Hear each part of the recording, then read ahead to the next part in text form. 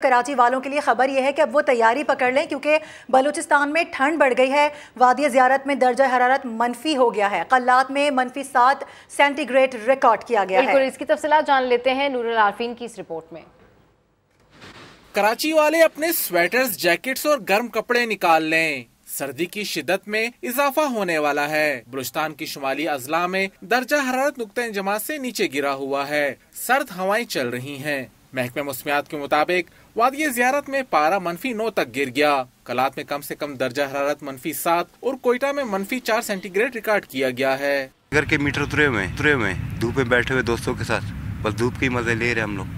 हम लोग शुक्र करते हैं कि धूप निकलती है थोड़ा बैठे बच्चों को भी बाहर निकाल देते जाओ धूप में बैठो। बहुत तो परेशानी है कोयटा में क्योंकि गैस नहीं है एक तो सिलेंडर इतना महँगा है चीज़ें हैं और लकड़ी का मन आप देखिए कितनी महँगी है।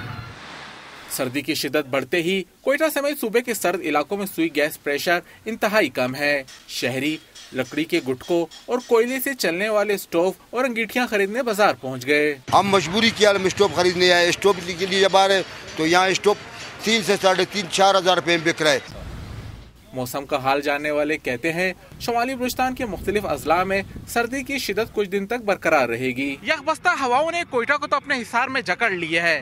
अब ये ठंडी हवाएँ सिंध और कराची वालों को सताएँगी। कैमरामैन अब्दुल वहीद के साथ नूल आरफी समा कोयटा।